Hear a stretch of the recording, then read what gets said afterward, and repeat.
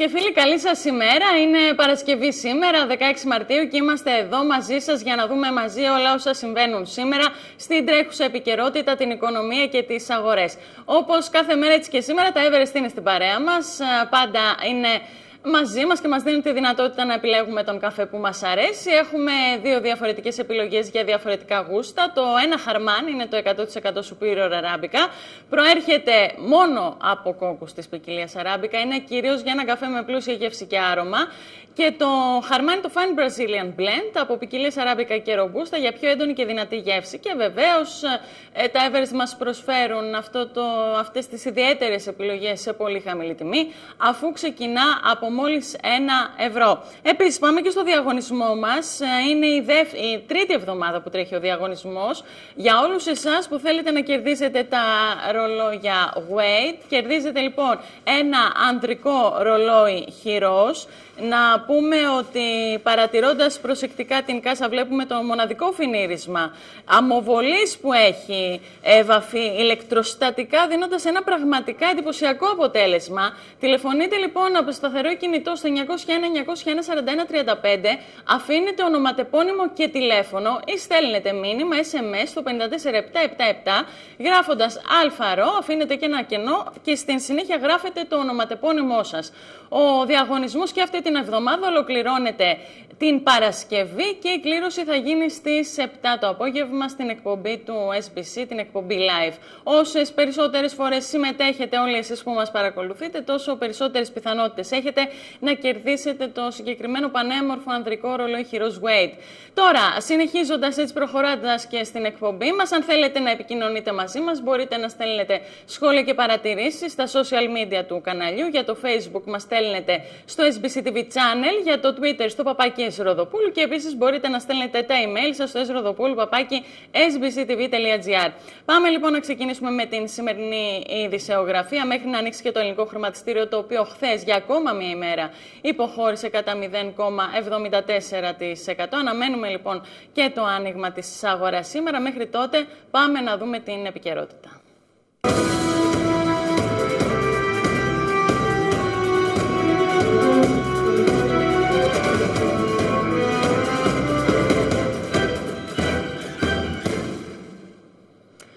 Αναφορά σε ραντεβού του Κωνσταντίνου Φρουζή με τον Πρωθυπουργό Αλέξη Τσίπρα περιέχεται στο CD με τα πρόσθετα στοιχεία που έστειλε η ανακρίτρια στην Προανακριτική Επιτροπή για την Οβάρτης. Τα αρχεία δεν έχουν σήμανση, οπότε εικάζει κανένας ότι πρόκειται για σελίδες από τα σημειωματάρια είτε του πρώην Αντιπροέδρου της Νοβάρτης είτε της γραμματέου του. Η αποκάλυψη αυτή δημιουργεί νέα δεδομένα στην έρευνα, καθώς μεγάλο μέρος της κατηγορίας κατά των 10 πολιτικών προσώπων ήταν ότι είχαν σχέσεις με τον κύριο Φρουζή, ότι είχαν κάνει ραντεβού μαζί του και ότι τον διευκόλυναν στις επιχειρηματικές του δραστηριότητες. Την ίδια ώρα, εναντίον της Νέας Δημοκρατίας και του πρώην Πρωθυπουργού Αντώνη Σαμαρά για την στάση του στην υπόθεση Νοβάρτης, καταφέρθηκε ο Υπουργός Επικρατείας και κυβερνητικός εκπρόσωπος Δημήτρης Τζανακόπουλος, ενώ κάλεσε τον διοικητή της Τραπέζης Ελλάδα, τον Γιάννη Στουρνάρα, να δώσει απαντήσεις αν υπάρχουν και άλλες συμβάσεις που έχει υπογράψει με την εταιρεία και αν είχε και έχει προνομιακές σχέσεις με τα διευθυντικά στελέχη. Εμείς το μόνο το οποίο έχουμε ζητήσει από τον κύριο Στουρνάρα είναι να δώσει πιστικές απαντήσεις για τους λόγους που τον οδήγησαν να μην αναφέρει τη συγκεκριμένη επαγγελματική του σχέση με την Οβάρτης στις ε, προηγούμενες τοποθετήσεις του. Το θέμα του κυρίου Στουρνάρα είναι καθαρό. Ε, του απευθύναμε συγκεκριμένα ερωτήματα. Ποια είναι αυτά; Πρώτον, αν έχει υπογράψει και άλλες ε, συμβάσεις ε, με την ε, εν λόγω εταιρεία, με την Οβάρτης και για ποιο λόγο ε, επέλεξε να μην αναφερθεί σε αυτούς τους ειδικούς δεσμούς, επαγγελματικούς δεσμούς που είχε με την εν εταιρεία, παρά το γεγονός ότι ε, η Νοβάρτη βρίσκεται στο επίκεντρο ενός τεράστιου σκανδάλου ε, και η δεύτερη ερώτηση που του απευθύνουμε είναι ε, για το αν και κατά πόσο διατηρεί προνομιακές σχέσεις ή διατηρούσε προνομιακές σχέσεις με, με διευθυντικά στελέχη της εταιρείας. Αυτές τις δύο ερωτήσεις θεωρούμε ότι ο κύριος Τουρνάρας οφείλει και ηθικά και πολιτικά να απαντήσει καθώς έχει την ιδιότητα του κεντρικού τραπεζίτη της χώρας. Τώρα, σε ό,τι αφορά το Σαμαρά, ε, τον κύριο Σαμαρά, σε τι ακριβώς πρωτοβουλία θέλετε να προχωρήσουμε; Λέμε με πολύ μεγάλη ε, καθαρότητα ότι από τα στοιχεία τα οποία έχουν δει το φως της δημοσιότητας στις προηγούμενες ημέρες προκύπτει ε, μια πλήρης και καταιγιστική διάψευση όλων των ισχυρισμών του κυρίου Σαμαρά το προηγούμενο διάστημα. Ότι δηλαδή δεν συνάντησε ποτέ τον κύριο Φρουζή ιδιωτικά, αλλά παρόλα αυτά ο κύριος Φρουζής βρίσκεται να έχει στην κατοχή του ένα ιδιόχειρο σημείωμα του πρώην Πρωθυπουργού. Αυτό νομίζω από μόνο του α, αποτελεί και μία ένδειξη του πόσο σαθρή είναι η επιχειρηματολογία περισκευωρία την οποία προσπάθησε να οικοδομήσει και να καλλιεργήσει όλο το προηγούμενο διάστημα. Τώρα, πολιτική κάλυψη στον πρώην Πρωθυπουργό Αντώνη Σαμαρά και στον διοικητή της Τραπέζης Ελλάδας Γιάννη Στουρνάρα, μετά και τα νέα στοιχεία που εστάλησαν στη Βουλή για το σκάνδαλο της Νοβάρτης, παρήχε η εκπρόσωπος τύπου της Νέας Δημοκρατίας, η Μαρία Σπυράκη. Αναφερόμενος στο θέμα και ο κ. Κουτσούμπας, μιλώντας στα παραπολιτικά, τόνισε ότι αυτό που γίνεται, γίνεται για μικροκομματικούς σκοπούς στην ουσία και για αποπροσανατολισμό του ελληνικού λαού. Μάρτυρες αυτοί είναι οι ίδιοι που κατέθεσαν ότι πήγαιναν τροχύλατες βαλίτσες στο Μαξίμου του 2013 και είναι οι ίδιοι μάρτυρες που κατέθεσαν ότι υπάρχουν έγγραφα ή έχουν φτάσει έγγραφα στην προκατακτική επιτροπή της Βουλής ότι ζητούσε η εταιρεία Νοβάρτης συνάντηση με τον τότε Πρωθυπουργό το 2014. Ξέρετε, σε αυτές τις υποθέσεις λίγη σοβαρότητα δεν βλάπτει, γιατί αυτό έχει αντανάκλαση στο σύνολο της δημόσιας ζωής και του πολιτικού συστήματος. Ο κ. Τουρνάρης εργάστηκε στον ιδιωτικό τομέα πριν αναλάβει δημόσιες θέσεις. Καταλαβαίνω ότι αυτό μπορεί να θεωρείται ασυνήθιστο για πολλά στελέχη του ΣΥΡΙΖΑ και των εξαρτήτων Ελλήνων, δηλαδή να έχει κάποιος εργαστεί στον ιδιωτικό τομέα πριν περάσει στην πολιτική, αλλά θέλω να σας βεβαιώσω ότι συμβαίνει στα αλήθεια. Συμβαίνει, υπάρχει δηλαδή αυτό. Μιλάμε στην ουσία και για συγκάλυψη. Δεν πρόκειται να προχωρήσει αυτό. Νομίζω ότι αυτή είναι και η άποψη της κυβέρνησης. Απλά αυτό γίνεται για μικροκομματικούς σκοπούς στην ουσία, γίνεται για αποπροσανατολισμό του ελληνικού λαού, γίνεται για να κρυβούν άλλα προβλήματα και στην οικονομία και στα εθνικά θέματα για το Brexit στο ελληνικό ποδόσφαιρο με αφορμή τα επεισόδια στον αγώνα ΠΑΟ ΚΑΕΚ προειδοποίησε από το βήμα της Βουλής ο Υφυπουργός Αθλητισμού Γιώργος Βασιλιάδης. Διαβεβαίωσε ότι η απέτηση και προσπάθεια της κυβέρνησης είναι να μπορέσει να συνεχιστεί το πρωτάθλημα και απάντησε σε σχετικές επίκαιρες ερωτήσεις των βουλευτών Γιώργου Λαζαρίδη από τους Ανεξάρτητους Έλληνες και Αριστίδη Φωκά από την Ένωση Κεντρών, οι οποίοι υπερασπίστηκαν τον ΠΑΟΚ και έκαναν λόγο για μεροληπτικές αποφάσεις σε βάρος στις ομάδες. Πάμε να δούμε λοιπόν τι δήλωσε ο κύριος Βασιλιάδης. Κυβερνήσουμε. Έτσι κι αλλιώς έχουμε περάσει σε μια άλλη μέρα από την προηγούμενη Κυριακή. Καταλάβετε όλοι ότι η δαμόκλειος πάθη του Brexit επικρέμεται πάνω από το κεφάλι του ελληνικού ποδοσφαίρου και επικρέμεται όχι από λάθη ή αυλεψίες πολιτείας αλλά επειδή οι άνθρωποι οι οποίοι ασχολούνται με το ποδόσφαιρο, οι παράγοντες του ποδοσφαίρου δεν ενδιαφέρονται γι' αυτό και αντί εμείς ως πολιτικό σύστημα εν συνόλο να τους φέρουμε από των ευθυνών τους, καθόμαστε και σχολιάζουμε δικαστικές αποφάσεις. Θέλουμε να γίνει καθάρισμα, να ξεβρωμίσει το ποδόσφαιρο. Είμαστε στο πλευρό σας, αλλά να γίνουν πραγματικές κινήσεις. Γιατί έχουμε δει να διακόπτεται και άλλες φορές το πρωτάθλημα.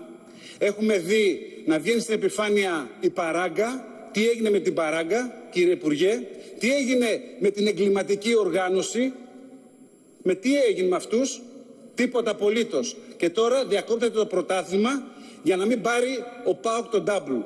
Έπαιξε ο ΠΑΟΚ όλο τον πρώτο γύρο χωρίς φιλάθλους στην Τούμπα. Δεν έχει ξαναγίνει αυτό. Και προηγούνταν στο πρωτάθλημα και έρχεται η ομάδα του Ολυμπιακού στο, στην Τούμπα και παραβιάζοντας όλον τον ΚΑΠ και αντί να τιμωρηθεί αυτός ο οποίος παραβίασε τους κανόνες τιμωρείται η ομάδα του ΠΑΟΚ. Δείχνω με το δάχτυλο τους υπέτειους της κακοδαιμονίας του ποδοσφαίρου που είναι όλοι αυτοί οι οποίοι αποτελούν το επαγγελματικό ποδόσφαιρο και να τους ζητούμε και να απαιτούμε από αυτούς τις ελάχιστες δεσμεύσεις για να προχωρήσουμε μπροστά. Γινόμαστε ρεζίλοι διεθνώς εξαιτίας των συμπεριφορών τους. Επίθεση στην κυβέρνηση με αφορμή της εξέλιξης στο ποδόσφαιρο και τα έκτροπα στην Τούμπα εξαπέλυσε εκπρόσωπος τύπου της Νέας Δημοκρατίας. Αναφερόμενη στην κυβέρνηση, είπε, είπε πως προχώρησε στον εναγκαλισμό της με μια γενιά ολιγαρχών και τους χρησιμοποίησε είτε για να ελέγχει το ραδιοτηλεοπτικό τοπίο είτε ποδοσφαιρικές ομάδες.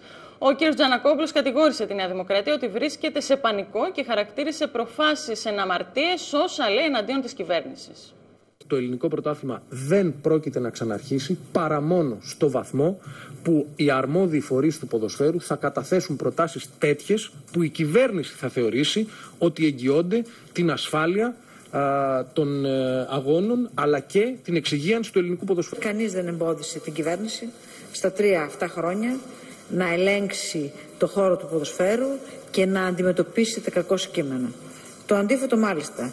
Είναι σαφές ότι η κυβέρνηση προχώρησε στον εναγκαλισμό της με μια νέα γενιά ολιγαρχών που βρίσκονται κοντά της και οι οποίοι προφανώς προσφέρουν στην κυβέρνηση καλές υπηρεσίες.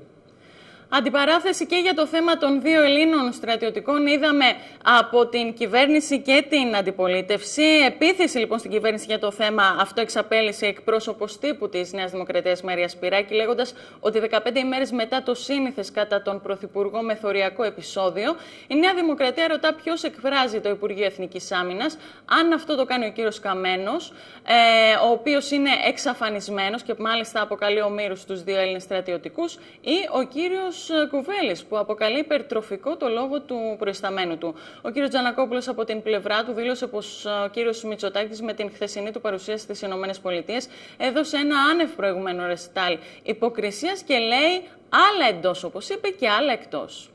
15 ημέρες μετά το σύνηθες κατά τον Πρωθυπουργό μεθοριακό επεισόδιο, οι δύο αξιωματικοί μας κρατούνται στις τουρκικές φυλακές. Η Νέα Δημοκρατία ερωτά την κυβέρνηση.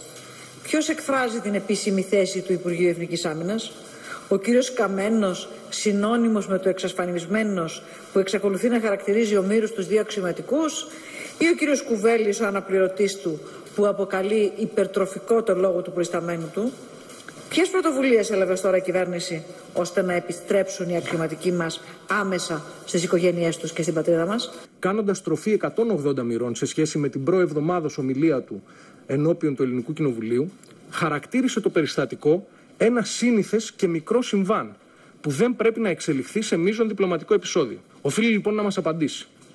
Θεωρεί το συμβάν με τους δύο Έλληνες αξιωματικούς σύνηθες και μικρό ή εκτιμά ότι πρόκειται για μείζον διπλωματικό επεισόδιο; Σαφές προβάδισμα 9 μονάδων στην εκτίμηση πρόθεσης ψήφου έχει η Νέα Δημοκρατία έναντι του ΣΥΡΙΖΑ, σύμφωνα με τη δημοσκόπηση της ΠΑΛΣ για τον ΣΚΑΙ. Σαφές προβάδισμα 9 μονάδων στην εκτίμηση πρόθεσης ψήφου έχει η Νέα Δημοκρατία έναντι του ΣΥΡΙΖΑ, σύμφωνα με την συγκεκριμένη δημοσκόπηση και όπως φαίνεται από την έρευνα, ε, και το παρακολουθούμε και στην κάρτα μας που διεξήχθη από τις 11 έως και τις 13 Μαρτίου η Νέα Βουλή σε ενδεχόμενο εκλογών θα ήταν πεντακομματική με τη Νέα Δημοκρατία να συγκεντρώνει 28,5% μονα... ε, 25,8 ε, μονάδες έναντι 19,5% ε, του ΣΥΡΙΖΑ. Το κίνημα αλλαγής βρίσκεται στην τρίτη θέση με 8%. Η Χρυσή Αυγή ακολουθεί με 7,5% και πέμπτο το ΚΚΕ με ποσοστό 5,5%. Εκτός Κοινοβουλίου θα έμεναν ανεξάρτητοι Έλληνες και Ένωση Κεντρών, οι οποίοι συγκεντρώνουν ποσοστό της τάξης του 1,5%, ενώ ποσοστό 1% συγκεντρώνουν κόμματα που είναι τώρα εκτός Βουλής, όπως η Πλεύση Ελευθερίας, η Ανταρσία, η Ελληνική Λύση και το Λαός. Στο ερώτημα ποιος είναι ο καταλληλότερος για πρωθυπουργός, το 31% των ερωτηθέντων απάντησε ο Κυριάκος Μητσοτάκης, το 22% Αλέξης Τσίπρας, ενώ ποσοστό 39% απάντησε κανένας από τους δύο την ανάγκη να υπάρξει ένα σαφές αναπτυξιακό σχέδιο εξόδου της χώρας από την κρίση, επεσήμανε ο Κυριάκος Μητσοτάκης, ασκώντας έντονη κριτική στην κυβέρνηση για την οικονομική της πολιτική. Σε συνέντευξή του στο Αμερικανικό δίκτυο Bloomberg από τις ΗΠΑ, όπου βρίσκεται, ο πρόεδρος της Νέας Δημοκρατίας τόνισε πως η χώρα χρειάζεται ένα διαφορετικό μείγμα πολιτικής με μείωση των φόρων και των δημοσίων δαπανών. There is a possibility, a distinct possibility that the elections will take place uh, in the second half of 2018. Reason being that Mr. Tsipras may not be the one to actually suffer the political pain from the pension cuts that he himself has actually legislated. What I need to point out for your viewers is that we're in a strange situation. We have legislated fiscal measures for 2019 and 2020 that go beyond the end of the current program. This is a necessary pain that's been imposed upon the Greek economy, 5 billion euros of additional austerity, part of the price we had to pay for electing Mr. Tsipras into government.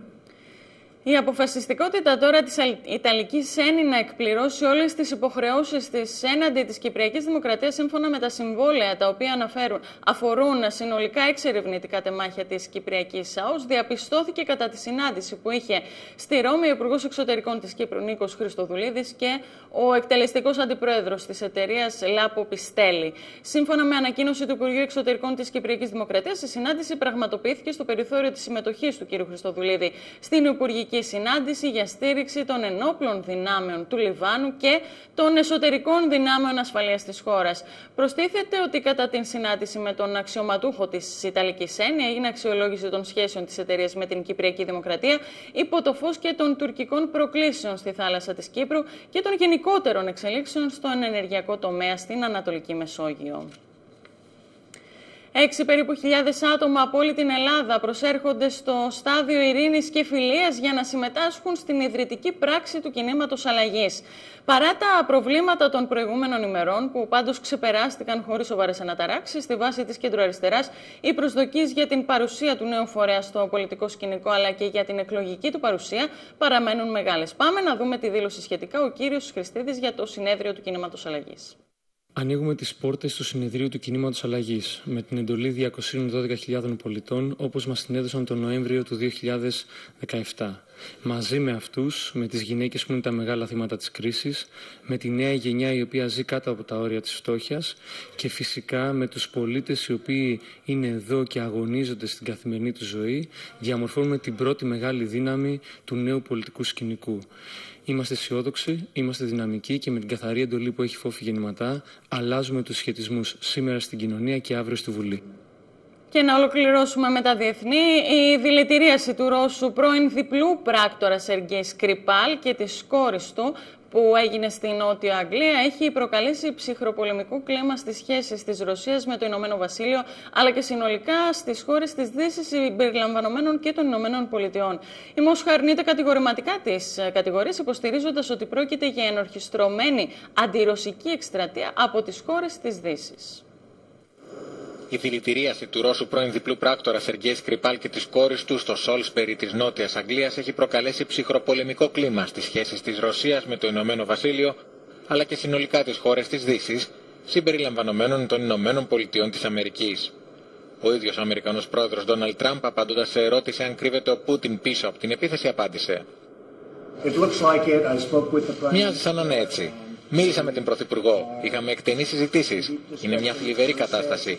Δείχνει ότι οι Ρώσοι κρύβονται πίσω από αυτό, κάτι που δεν πρέπει να συμβεί ποτέ ξανά. Και είναι κάτι που το εξετάζουμε πολύ σοβαρά, όπως και με αρκετούς άλλους. Η Μόσχα αρνείται κατηγορηματικά τις κατηγορίες, υποστηρίζοντας ότι πρόκειται για ενορχιστρωμένη αντιρωσική εκστρατεία από τις χώρες της Δύσης. Νομίζω ότι αυτή είναι μια προφανής ιστορία που αντικατοπτρίζει καταρχάς την απελπισία της σημερινής κυβέρνησης της Μεγάλης Βρετανίας, ειδικά σε μια κατάσταση όπου δεν μπορούν να εκπληρώσουν τις υποσχέσεις που έδωσαν στον λαό τους σχετικά με την έξοδο από την Ευρωπαϊκή Ένωση. Σας εγγυώμαι ότι σύντομα θα απαντήσω. Ο πρόεδρος Πούτιν από την πλευρά του, ευρισκόμενος και στην τελική ευθεία της προεκλογικής περίοδου, συγκάλεσε έκτακτη συνεδρίαση του Συμβουλίου Ασφαλείας της Ρωσίας, στην οποία μετήχαν ανώτατα στελέχη της κυβέρνησης, του Κοινοβουλίου και των Υπηρεσιών Πληροφοριών.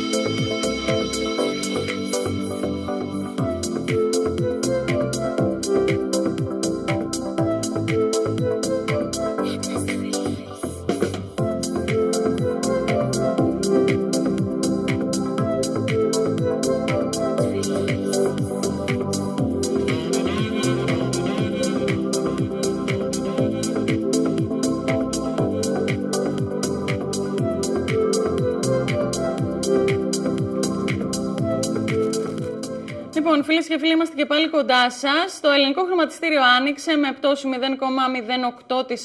αυτή την ώρα. Περιμένουμε να δούμε τις διαθέσεις του και σήμερα. Να καλωσορίσω εν τω μεταξύ μαζί μου και τη Ματίνα Χαρκοφτάκη. Ματίνα, καλή σου μέρα. Καλημέρα, Σοφία. Παρασκευή σήμερα έρχεται Σαββατοκύριακο. Τι έχω πάθει σήμερα, άλλο σαρδάμι είμαι.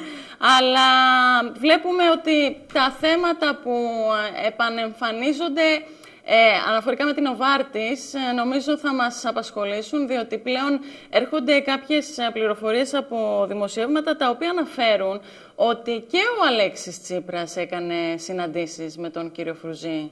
Ναι, υπήρξε λοιπόν ένα δημοσίευμα στο βήμα.gr και φυσικά είχαμε σήμερα την απάντηση, τη σκοπτική θα λέγαμε απάντηση από το Μέγαρο Μαξίμου, λέγοντας ότι ο κύριος Τσίπρας ουδέποτε συνάντησε τον κύριο Φρουζή, ούτε ως Πρωθυπουργός ούτε ως αρχηγός της αξιωματικής αντιπολίτευσης.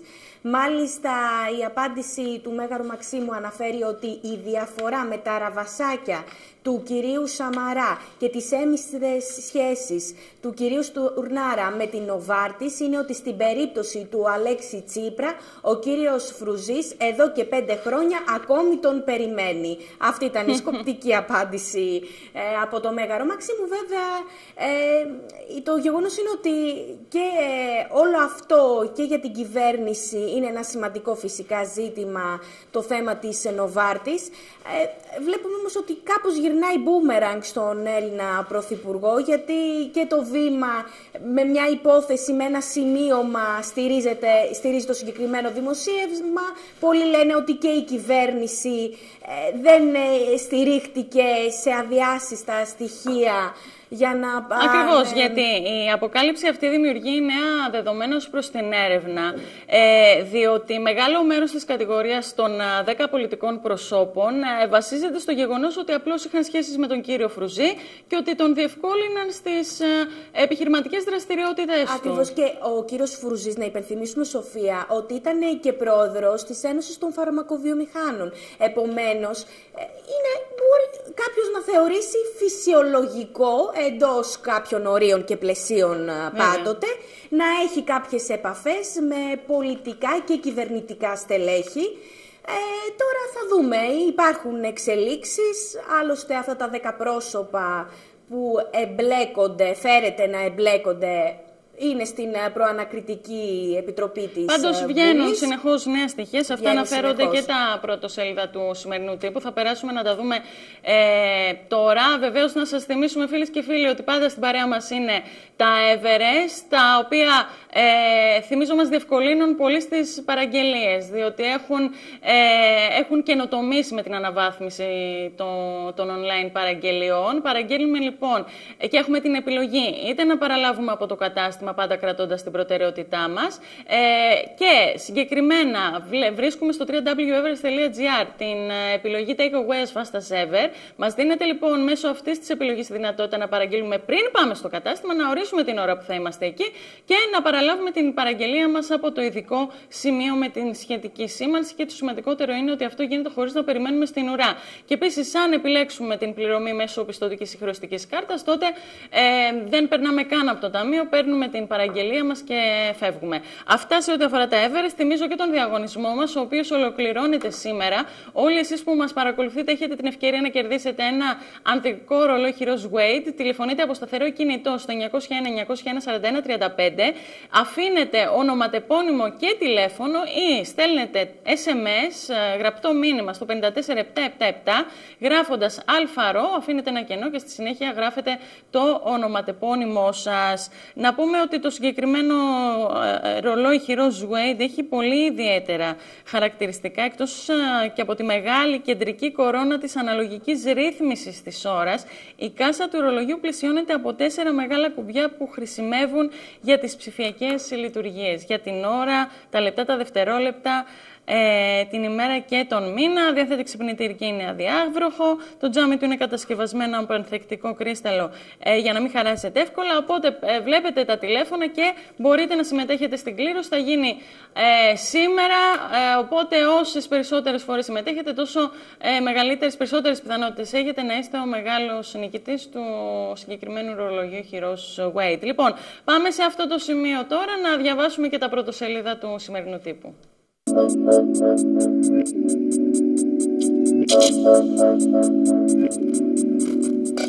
Λοιπόν, ξεκινάμε με το πρώτο σέλιδο της εφημερίδας Αυγή. Μέτρα η Γκρέξι. Τελευταία προειδοποίηση στους παρόντες, παράγοντες του ποδοσφαίρου από FIFA και κυβέρνηση.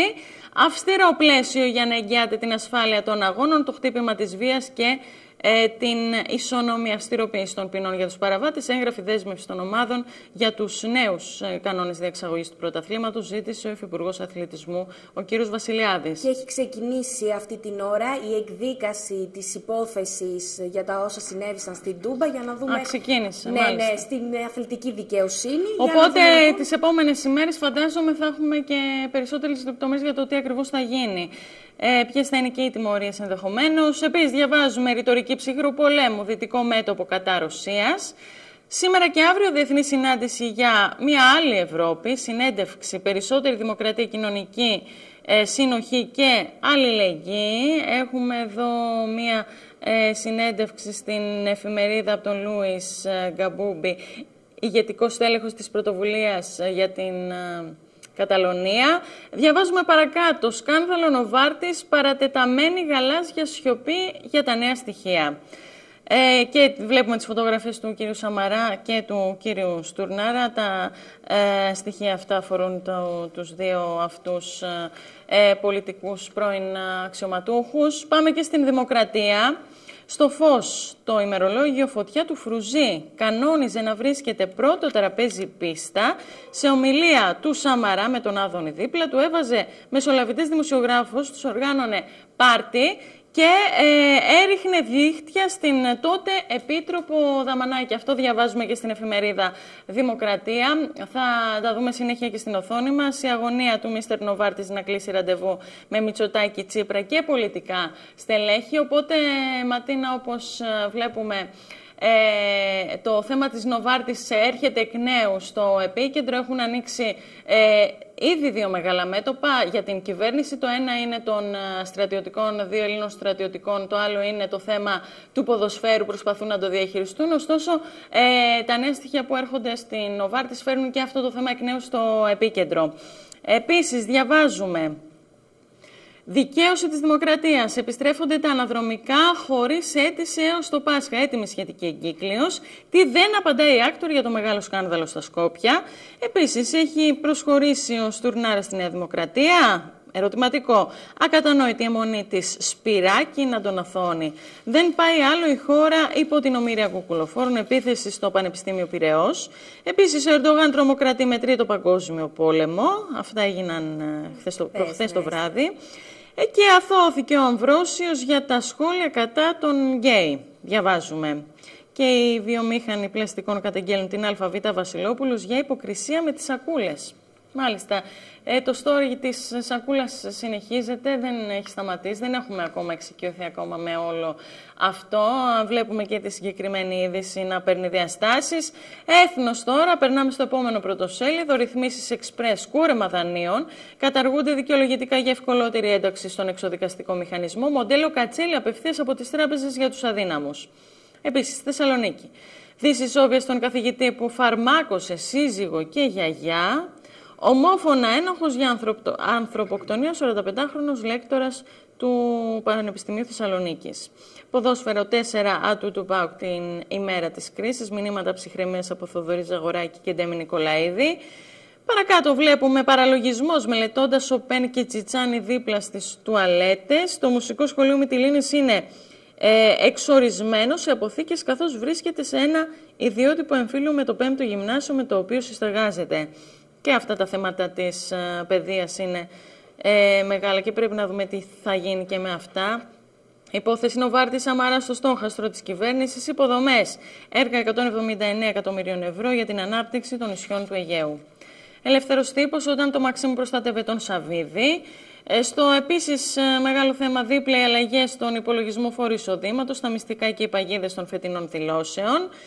Παρακάτω, ανεξέλεγκτοι μπαχαλάκιδες έκαναν πέντε επιδρομές μέσα σε δύο ώρες, καμία σύλληψη από την ελληνική αστυνομία. Ναι, χτε πάλι είχαμε πολλά επεισόδια και στην πλατεία Κάνιγκος. Ε, υπήρξε εισβολή και στα γραφεία του ΣΥΡΙΖΑ και είχαμε και εκείνο το επεισόδιο στο Πανεπιστήμιο Πειραιά, όπου εν ώρα διδασκαλίας ε, ε, εισέβαλαν ε, κάποιοι οι οποίοι δηλώνουν συμπαράσταση στους συλληφθέντες των πυρήνων της φωτιάς. Είναι αυτά που γίνονται συχνά το τελευταίο διάστημα και φυσικά περιμένουμε και την αστυνομία και πώς θα δράσει σε όλο αυτό. Δεν ξέρουμε τώρα πού οφείλεται ο τρόπος που αντιδράσε, άνωθεν έντολες φαντάζομαι, ωστόσο βλέπουμε ότι προς το παρόν δεν υπάρχει καμία σύλληψη, δρούν ανεξέλεγκτα, τους βλέπεις κανονικά να περνούν έξω από τα καταστήματα, ναι, ναι. να ε, ε, δημιουργούν έτσι, να προκαλούν καταστροφές. Παρ' όλα αυτά δεν υπάρχει κανείς ο οποίος θα, ε, να, να μπορεί να ελέγξει την κατάσταση. Λοιπόν, και πάμε... η μέρα, το πρωί έγινε Και η μέρα, ακριβώς, ακριβώς. Λοιπόν, πάμε στην αιστεία. Διώχνουν τον πληθυσμό από τη Θράκη, εγκλήματα ΣΥΡΙΖΑ στην Βόρεια Ελλάδα, ενώ οι Τούρκοι κάνουν απογραφή. Ιδού που οδηγούν, διαβάζουμε στο δεύτερο θέμα, οι εννοησίε του κυρίου Κουβέλη, στο κοινό ηρωνία κατά Καμένου για ομήρου.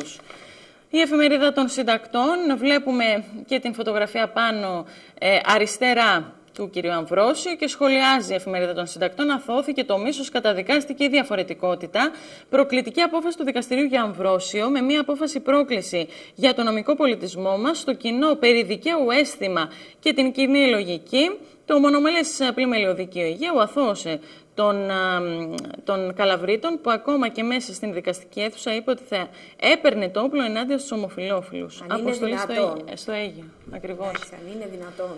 Λοιπόν, πάμε και στο παρακάτω θέμα. Ο κατάλληλος άνθρωπος στις κατάλληλες θέσεις, πλήρης κάλυψη από τη Νέα Δημοκρατία στον Γιάννη Στουρνάρα, αναφορικά με το σκάνδαλο Νοβάρτης, πάντα σε κομβικό ρόλο μέχρι να φτάσει να γίνει σύμβουλος στην φαρμακοβιομηχανία. Λαθροχειρία της διαπλοκής με ονόματα που βρέθηκαν στον υπολογιστή του Φρουζή.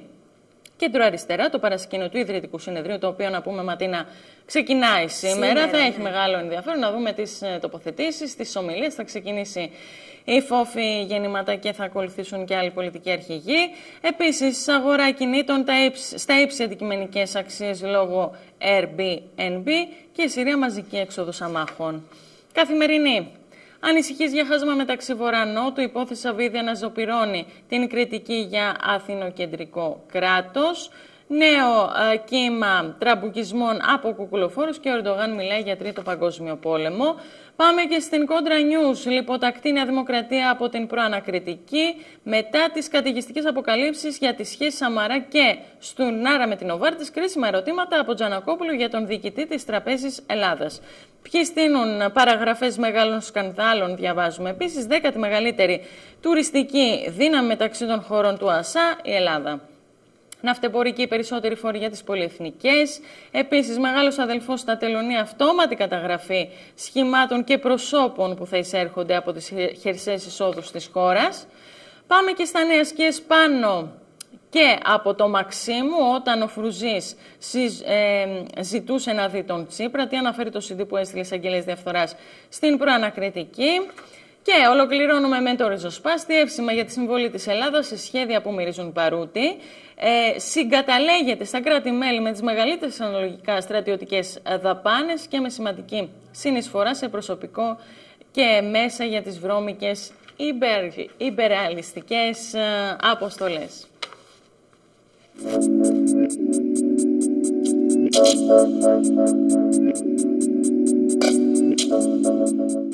Λοιπόν, επιστρέψαμε να δούμε μαζί με την Ματίνα αναλυτικά την δημοσκόπηση της ΠΑΛΣ, η οποία εμφανίζει ένα ενδιαφέρον, διότι βλέπουμε να ανοίγει ψαλίδα μεταξύ Νέας Δημοκρατίας και ΣΥΡΙΖΑ. Πάμε να δούμε τα ποιοτικά στοιχεία. Ναι, να ξεκινήσουμε λοιπόν με την πρόθεση ψήφου χωρίς αναγωγή, όπου εκεί η Νέα Δημοκρατία συγκεντρώνει το 28,5% έναντι του ΣΥΡΙΖΑ, ο οποίος συγκεντρώνει 19,5%. Να δούμε και το, την σχετική κάρτα, η οποία μας δείχνει και τα ποσοστά αναλυτικά. Οπότε βλέπουμε τα ποσοστά. Πάμε πάλι. Ματίνα Νέα Δημοκρατία στο 28,5%, ναι. στο 19,5% βλέπουμε ότι είναι ο ΣΥΡΙΖΑ. Στη συνέχεια ακολουθεί το κίνημα αλλαγής, όπου όπως είπες και εσύ Σοφία σήμερα ξεκινάει και το συνέδριο, στο, στο συνέδριο στο 8%. Στην τέταρτη θέση βρίσκεται με 7,5% η Χρυσή Αυγή. Ακολουθεί στην έκτη θέση το Κομμουνιστικό Κόμμα Ελλάδος με 5,5%. Και τώρα όσον αφορά στον κυβερνητικό εταίρο του ΣΥΡΙΖΑ, τους ανεξάρτητους Έλληνες, βλέπουμε ότι δεν καταφέρνει. Ναι, μένει εκτός, εκτός Βουλής με 1,5% καθώς και ο κύριος Λεβέντης με την Ένωση Κεντρών στο 1,5% και τα υπόλοιπα κόμματα είναι περίπου στο 1% η Ανταρσία και τα άλλα μικρότερα κόμματα. Ε, φυσικά έχουμε και θέμα αποχής ε, περίπου στο 6% και περίπου στο 4% είναι το λευκό. Ε, και έχουμε και αναποφάσεις τους, οι οποίοι και αυτοί κάπου στο 6% κινούνται οι αναποφάσιστοι. Ε, τώρα δεν ξέρω, είναι μια δημοσκόπηση. Είναι τη στιγμή, θα λέγαμε, δημοσκόπηση. Και έχουμε δει πολλές φορές τελευταία ότι οι δημοσκοπήσεις πέφτουν αρκετά έξω. Αυτό δεν συμβαίνει μόνο στην Ελλάδα, συμβαίνει ναι, πανευρωπαϊκά. Ναι. Ωστόσο, είναι μεγάλη η διαφορά. Έχει ανοίξει αρκετά η ψαλίδα, γεγονός το οποίο ε, μας δίνει να καταλάβουμε ότι ακόμα και αν δεν είναι αυτά τα ποσοστά, η Νέα Δημοκρατία ενδεχομένως ε, είναι πρώτη.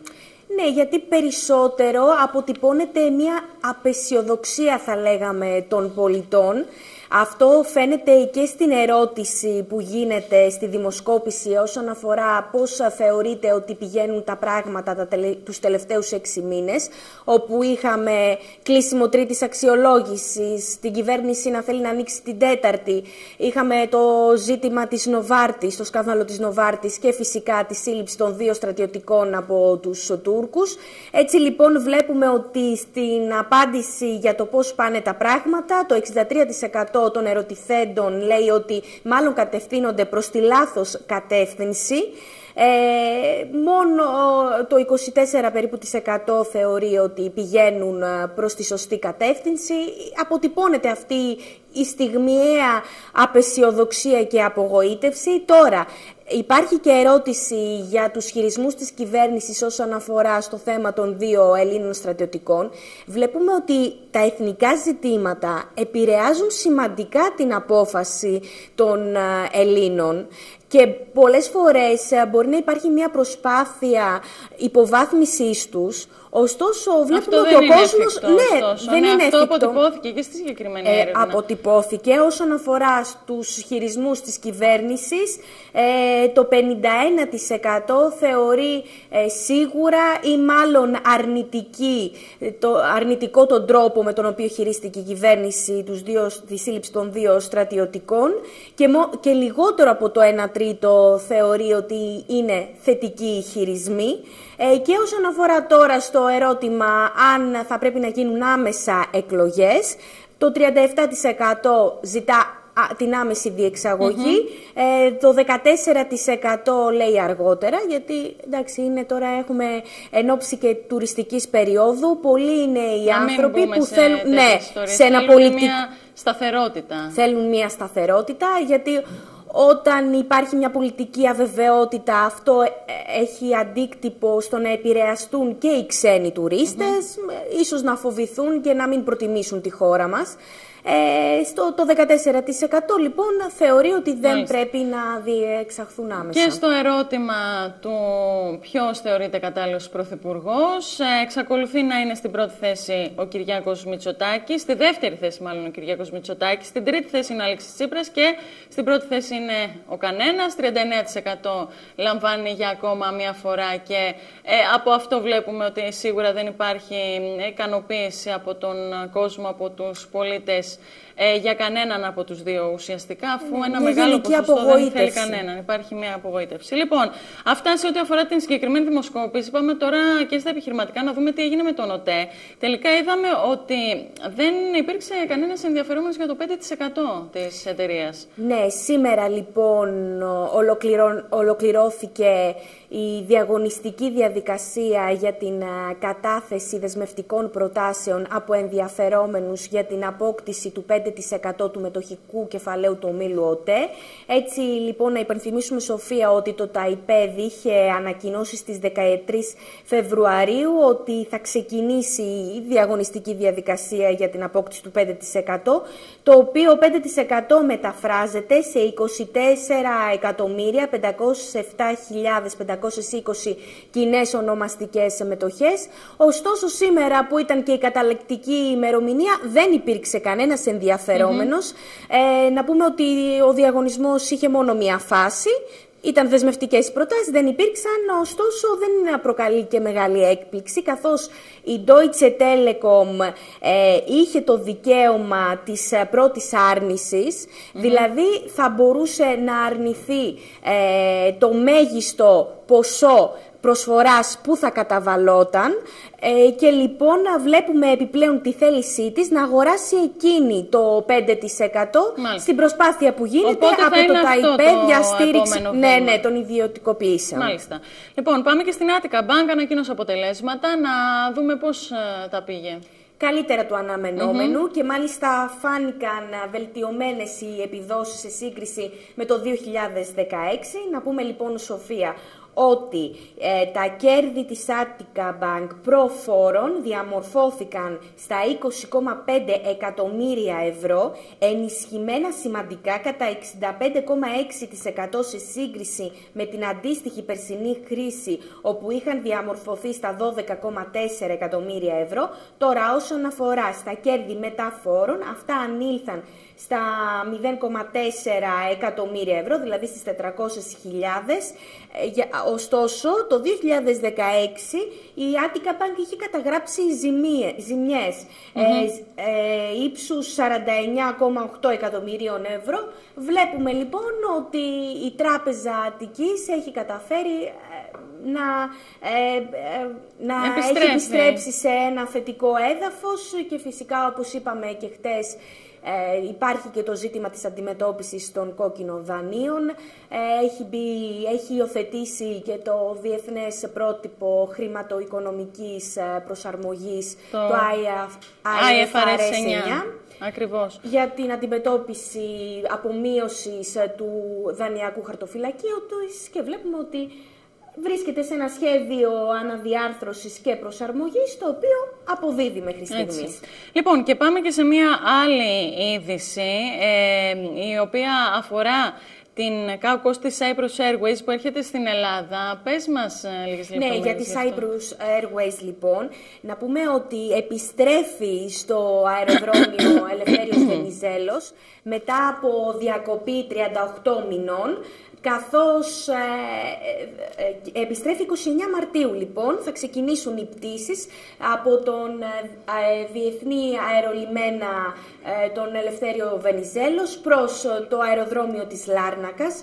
Είχαν διακοπεί οι πτήσεις. Ναι, αυτό να θυμηθούμε ναι, γιατί είχαν λίγο. Είχαν, διακοπεί οι πτήσεις Είχαν διακοπεί γιατί τότε η Κομισιόν στο πλαίσιο της Διεθνούς Επιτροπής Ανταγωνισμού είχε ζητήσει τότε από τη Cyprus Airways να επιστρέψει επιστρέψει κάποια χρήματα που της είχαν δοθεί ως στήριξη από την Κυπριακή κυβέρνηση, από το Κυπριακό κράτος, μια παρόμοια περίπτωση με την mm Ολυμπιακή, να θυμίσουμε. Ναι. Εκείνη είχε αρνηθεί γιατί είπε ότι εγώ παιδιά δεν τα έχω τα χρήματα να σας τα επιστρέψω. Ωστόσο τώρα βλέπουμε ότι Επιστροφή με low cost ε, πτήσεις, ε, θα επιστρέψει λοιπόν, θα συνδέσει την Αθήνα με τη Λάρνακα, πολύ σημαντικό και για την τουριστική, ενόψη και της τουριστικής περίοδου για τη χώρα μας. Θα συνδεθεί λοιπόν και πάλι η Αθήνα με την, ε, με την Κύπρο μέσω φυσικά της Cyprus Airways. Λοιπόν, αυτά σε ό,τι αφορά τα, ελληνικά επιχειρηματικά θέματα. Σε αυτό το σημείο θα πάμε σε μια διακοπή, θα περάσουμε και σε διαφημίσεις και επιστρέφοντας θα δούμε τι γίνεται και στις διεθνείς αγορές.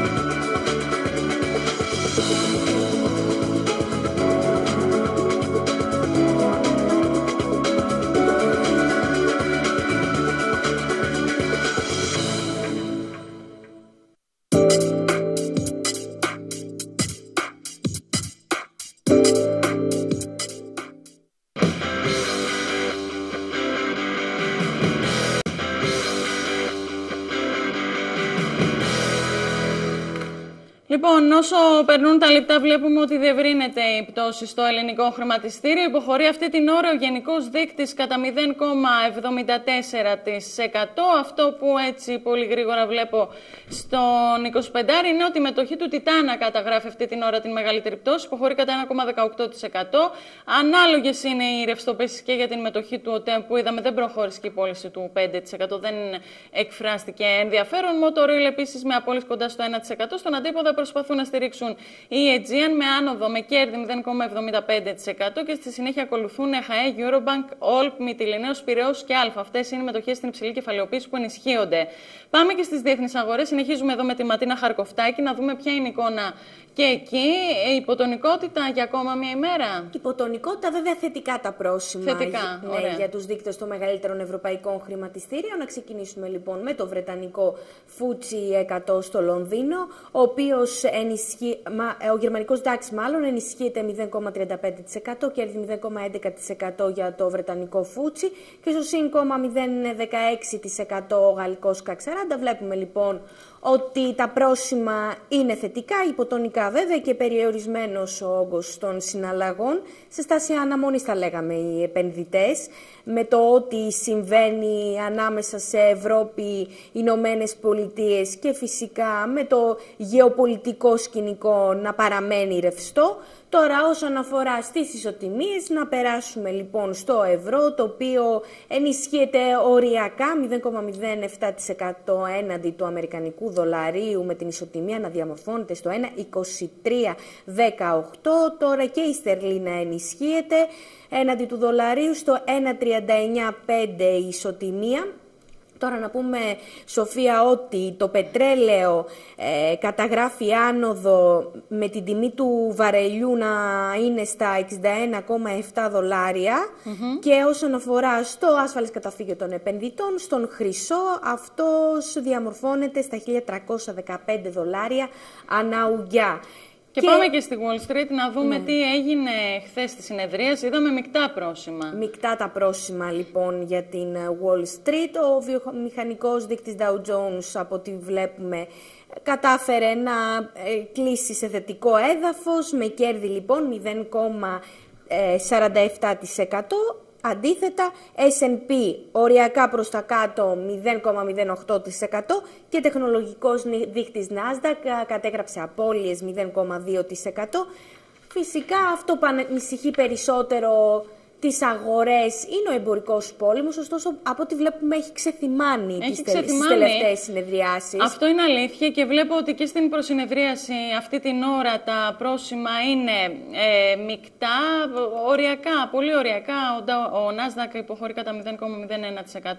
Ε, θετικά κινούνται τα futures του Dow Jones και του S&P 500. Βλέπουμε ότι δεν υπάρχουν ακραίες διακυμάνσεις και αυτός ο εμπορικός πόλεμος που ε, είναι σε εξέλιξη το τελευταίο διάστημα φαίνεται να μην επηρεάζει. Ωστόσο, βλέπω αυτή την ώρα στο Market Watch ε, το πρώτο θέμα να αναφέρει ότι η πτώση διόρθωση των αγορών μπορεί να έχει ολοκληρωθεί στο μισό της. Δηλαδή κάτι περιμένουν, κάτι επιπλέον περιμένουν οι αναλυτές. Για να λοιπόν, δούμε, κάτι γνωρίζουν παραπάνω μάλλον, το κάτι κρατάμε, βλέπουν, το κρατάμε. Το κρατάμε στο πίσω μέρος του μυαλού μας και εδώ είμαστε για να, να δούμε πώς θα εξελιχθεί η εικόνα τους. Λοιπόν, Ματίνα, σε ευχαριστώ πολύ. Καλή συνέχεια. Φίλες και φίλοι, εμείς σε αυτό το σημείο θα περάσουμε σε μια σύντομη διακοπή. Επιστρέφοντας, θα έχουμε μαζί μας τον ε, Κωνσταντίνο Βουδούρη, είναι χρηματοοικονομικός αναλυτής, για να δούμε μαζί του ε, θέματα τα οποία αφορούν την ελληνική οικονομία. Διότι είχαμε την ανακοίνωση για το πρωτογενέ πλεόνασμα. Υπήρξε υπερπλεόνασμα από ό,τι φάνηκε στα στοιχεία του Διμήνου σε σχέση με το αντίστοιχο περσινό ε, και παράλληλα έχει ενδιαφέρον να δούμε πού κινούνται τα στοιχεία τόσο του πληθωρισμού αλλά και της ε, ανεργίας.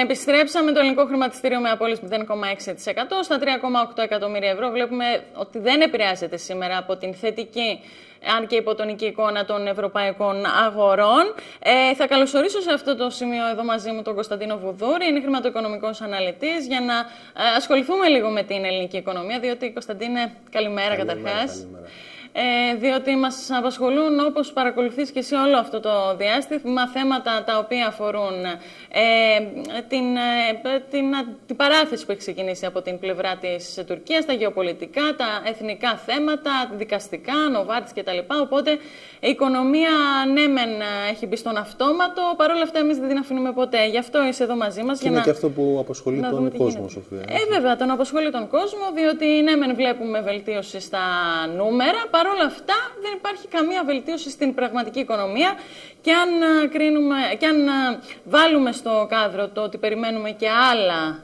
ε, άλλες περικοπές, ε, μείωση του φορολόγιου και από το 2019 πλέον, νομίζω ότι τα πράγματα μάλλον δεν φαίνεται να βελτιώνονται αισθητά. Ωστόσο, ας ξεκινήσουμε με αριθμούς, να δούμε τι έγινε σε ό,τι αφορά το πρωτογενές πλεόνασμα που ανακοινώθηκε για το πρώτο δίμηνο του 2018. Τα πήγαμε πολύ καλά. Είχαμε υπερπλεόνασμα, μάλιστα το πρωτογενές πλεόνασμα διαμορφώθηκε στο 2,75 στα 2,75 δισεκατομμύρια από 1,3 δισεκατομμύρια που ήταν ο στόχος. Ε, αυτό είναι και καλό και κακό, έτσι δεν είναι; Αυτό είναι για την οικονομία κυρίως κακό. Ναι. Γιατί ουσιαστικά όταν. Ε, είναι καλό γιατί ξεπερνάμε τους στόχους, ξέρεις. Υπάρχει αυτό είναι το καλό γιατί ξεπερνάμε τους στόχους. Υπάρχει το. Αλλά είναι αυτό, το, αυτό το αβαντάζ δηλαδή όσον αφορά το ότι δεν θα ενεργοποιηθεί ο κόφτης μισθών ε, και συντάξεων.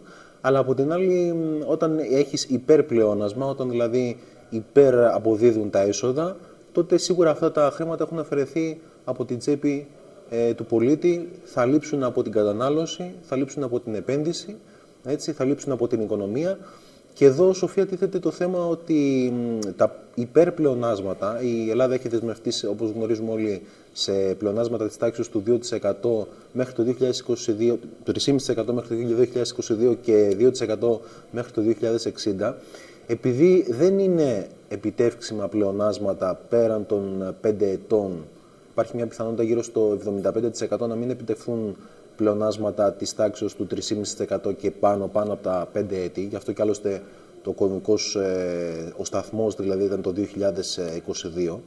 Ε, εδώ θα πρέπει η ελληνική κυβέρνηση, η όποια ελληνική κυβέρνηση προκύψει μετά τις εκλογές ε, όποτε αυτές γίνουν, όποτε αυτές γίνουν να επαναδιαπραγματευτεί αυτά τα υψηλά πλεονάσματα τα οποία αματώνουν την οικονομία διότι βγαίνουν από φόρους, βγαίνουν από μειώσεις δαπανών και εδώ είχαμε, όπως είχαμε πει και την τελευταία φορά, ε, το χειρότερο είναι να μην έχουμε μια αύξηση των δημοσίων επενδύσεων. Και όταν δεν έχεις αύξηση των δημοσίων επενδύσεων, και δεν έχεις και άμεσες ξένες επενδύσεις, δεν έχεις δηλαδή ιδιωτικές επενδύσεις, τότε μιλάμε για μια πολύ μεγάλη τρύπα στην οικονομία. Πάντως, ε, τα στοιχεία που βγήκαν στη δημοσιότητα έδειξαν ότι για πρώτη φορά μετά από πολύ καιρό είδαμε τα έσοδα του προπολογισμού δημοσίων επενδύσεων να αυξάνονται. Ανήλθαν συγκεκριμένα στα 669 εκατομμύρια ευρώ, όπως βλέπω εδώ στις σημειώσεις μου, αυξήθηκαν κατά 452 εκατομμύρια ευρώ έναντι του στόχου. Οπότε αυτό το κρατάμε ως ε, ένα θετικό. Ως ένα θετικό στοιχείο. Ε, αυτό το οποίο εκεί που θα πρέπει να δώσει βάση η κυβέρνηση είναι ε, να δώσει βάση στις δημόσιες επενδύσεις, διότι ε, για να επενδύσει κάποιος ξένος στη χώρα σου, θα πρέπει πρώτα να βλέπει εσένα να επενδύεις εσύ ο ίδιος στη χώρα σου. Άρα λοιπόν θα πρέπει να έχουμε δημόσιες επενδύσεις, ε, οι οποίες είναι κολλημένες αυτή τη στιγμή γύρω στα 6 δις ε, μέσα στο 2018 βάσει του προϋπολογισμού τουλάχιστον. Έτσι. Ε, θα πρέπει λοιπόν να απελευθερωθούν οι δημόσιες επενδύσεις, να επενδύσει το κράτος στην ε, ελληνική οικονομία ώστε να ε, εμπνεύσει κατά κάποιο τρόπο και τους ιδιώτες επενδυτές να έρθουν και αυτοί να επενδύσουν στην ε, ελληνική οικονομία. Βεβαίως αυτό δεν είναι ε, κάτι το οποίο θα φέρει ξένους επενδυτές. Κοίτα, χρειάζονται... οι ξένοι επενδυτές αξιολογούν πολλά σε μια οικονομία. Αυτό που μας λέει οι δημόσιες επενδύσεις είναι κάτι το οποίο επίσης μπαίνει ε, στο κάδρο τους και το αξιολογούν ούτως ώστε να αποφασίσουν αν τελικά θα προχωρήσουν σε μια επένδυση ή όχι. Οι δημόσιες επενδύσεις είναι ουσιαστικά ε, ένας παράγοντας ο οποίος ε, βοηθά την οικονομία στο να προωθηθεί η απασχόληση, να μειωθεί η ανεργία. Mm Οπότε τα αποτελέσματα των Τα αποτελέσματα των δημοσίων επενδύσεων είναι θετικά. Αντίστοιχα, αν έχεις, επειδή στις δημόσιες δαπάνες γνωρίζουμε υπάρχουν και μη παραγωγικές δαπάνες, για παράδειγμα, ε, δαπάνες οι οποίες είναι κυρίως ανταποδοτικές και γίνονται για λόγους κοινωνικής πολιτικής. Και πολλές φορές γίνονται όχι μόνο για λόγους κοινωνικής πολιτικής, αλλά και για μικροπολιτικούς λόγους.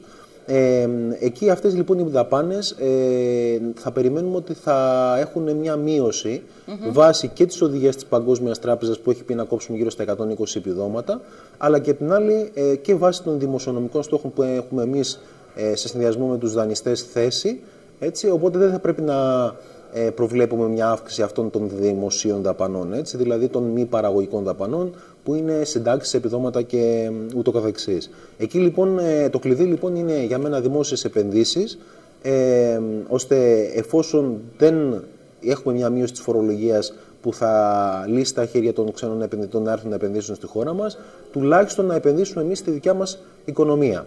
Έτσι, σαν κράτος, να επενδύσει το ελληνικό κράτος, να μην έχουμε μόνο 6 δις το χρόνο δημόσιες επενδύσεις, γιατί όταν έχεις μια αύξηση των δημοσίων επενδύσεων κατά ένα ευρώ σοφία, θα έχεις ένα πενταπλασιασμό του χρήματος στην οικονομία. Γιατί σκέψου ότι αν ανοίξει, ας πούμε, για παράδειγμα, μια δημόσια επιχείρηση και παράγει ένα προϊόν το οποίο το παράγουν οι ξένοι. Mm -hmm. Μειώνει τις εισαγωγές σου. Ένα. Δεύτερον. Που είναι πολύ σημαντικό. Που είναι πολύ σημαντικό. Διότι Δεύτερον. Βλέπω ότι στο ισοζύγιο, ανοίγω την παρένθεση, ενώ αυξάνονται οι εξαγωγές, που είναι πολύ θετικό για μια οικονομία, παρόλα αυτά βλέπουμε αύξηση και αύξηση των εισαγωγών. Εάν λοιπόν παράγεις ένα προϊόν με μια δημόσια, με ένα πρόγραμμα δημοσίων επενδύσεων, με καινούργιες δημόσιες επιχειρήσεις, σε ένα κλάδο στον οποίο δεν έχεις, για παράδειγμα, αυτή τη στιγμή παραγωγή, έτσι, π.χ. σε προϊόντα τεχνολογίας, λέω mm -hmm. για παράδειγμα. Έτσι. Εκεί πετυχαίνεις δύο πράγματα. Πρώτον, μειώνεις τις εισαγωγές σου. Mm -hmm. Τα χρήματα μένουν στην Ελλάδα, δεν φεύγουν έξω. Πρώτον. Δεύτερον, απασχολείς ανθρώπινο δυναμικό, που είναι πολύ σημαντικό για τη μείωση της ανεργίας. Mm -hmm. Ε, αυτό το ε, εργατικό δυναμικό που θα απασχολήσεις θα έχει και μια αύξηση της κατανάλωσής του. Έτσι. Γιατί είτε ήταν πριν οπότε άνεργο, το ένα οπότε το ένα φέρνει το άλλο μια λυσίδα δηλαδή. Οι λοιπόν βοηθούν όλους τους τομείς της. Και κάθε ένα ευρώ το οποίο πέφτει σε δημόσια επένδυση πενταπλασιάζεται μέσα στην οικονομία. Έτσι. έτσι. Έχει πολλαπλασιαστικά. Έχει πολλαπλασιαστικά ωφέλη. Λοιπόν, πάμε να δούμε όλα αυτά, αν τα συνθέσουμε, τι αποτέλεσμα έχουν στην οικονομία μας. Δηλαδή, πού βρίσκεται τώρα η οικονομία, έχεις ε, ε, εφαρμόσει ένα συγκεκριμένο μοντέλο για να δούμε πού ακριβώς βρισκόμαστε από το 2000 μέχρι το 2016, πώς έχουν κινηθεί τα πράγματα.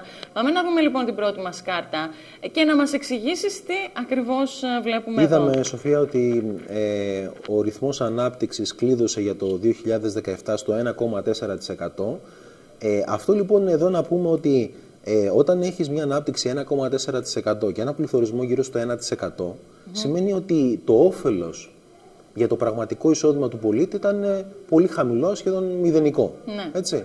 Ε, άρα γι' αυτό ένας από τους λόγους που δεν είδε ο πολίτης στην τσέπη του την ανάπτυξη ήταν αυτός. Έτσι, έχεις 1% άνοδο των τιμών, έχεις και 1,4% αύξηση μεσοσταθμικά του εισοδήματος, άρα δεν έχεις ουσιαστικά μια σημαντική αύξηση ε, του πραγματικού σου εισοδήματος. Εδώ λοιπόν αυτό το διάγραμμα δείχνει τη σχέση ανάμεσα στην ανεργία και στο ε, παραγόμενο προϊόν και στην ανάπτυξη, στο ρυθμό ανάπτυξης.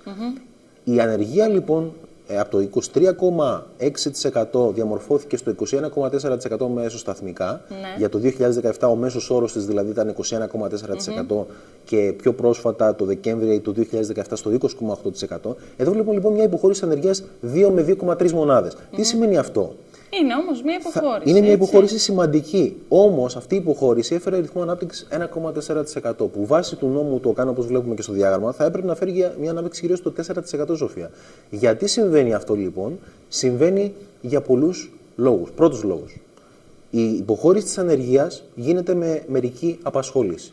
Μερική απασχόληση σημαίνει τρακο, μισθή με των 300, των 400, ακόμη και των 200 ευρώ. Και πολλά λες. Ίσως και των 200. Ίσως, ίσως και των 200, ίσως και των 100 σε πολλές Ναι, περιπτώσεις. ναι. Εδώ λοιπόν τι έχουμε; Όταν έχεις μια υποχώρηση της ανεργίας με μερική απασχόληση, φτιάχνεις, σε εισαγωγικά, καταναλωτές χαμηλής δυναμικότητας.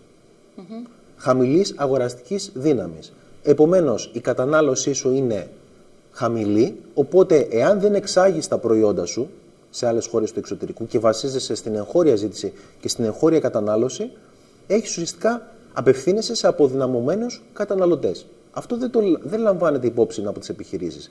Δεν λαμβάνεται υπόψη όμως και από την κυβέρνηση η οποία επιμένει σε αυτή την ε, ληστρική, σε αυτή την εξοντοτική φορολογία του 29% στις επιχειρήσεις. Mm -hmm. Άρα βλέπουμε ότι είναι μια λυσίδα. Φτιάχνοντας λοιπόν ε, καταναλωτές των 300, των 400 και των 200 ευρώ, μην περιμένουμε να έχουμε μια τεράστια αύξηση της κατανάλωσης και αύξηση της ζήτησης των ελληνικών ε, προϊόντων εγχωρίως. Ένας λοιπόν λόγος είναι η μερική απασχόληση για την uh, χαμηλή ανάπτυξη, που είναι ο, ο πύχης πολύ χαμηλά πλέον. Ο δεύτερος λόγος είναι ότι παρά τη μείωση της ανεργίας, έχει ουσιαστικά άλλα προβλήματα που βάζουν τρικλοποδία στην ανάπτυξη. Ποια είναι αυτά, υψηλό ιδιωτικό χρέος. Όταν ο πολίτης έχει στενάζει κάτω από το, από το βάρος των δανείων, των υψηλών φόρων, δεν μπορεί να απελευθερώσει την κατανάλωσή του. Δεν μπορεί δηλαδή να καταναλώσει όσο θα ήθελε. Επίσης είναι μαγκωμένος όσον αφορά, μην το συζητήσουμε αυτό το θέμα, όσον αφορά την ε, αποταμίευσή του έτσι και την ε, ιδιωτική του επένδυση. Ναι. Δεν υφίσταται τέτοιες, ε, τέτοιες δυνατότητες δηλαδή στον Έλληνα πολίτη, στο ελληνικό νοικοκυριό και στην ελληνική επιχειρήση. Άρα τι βλέπουμε λοιπόν, βλέπουμε ουσιαστικά ότι υπάρχουν προβλήματα, υπάρχουν πονοκέφαλοι στον Έλληνα που πρέπει να λυθούν.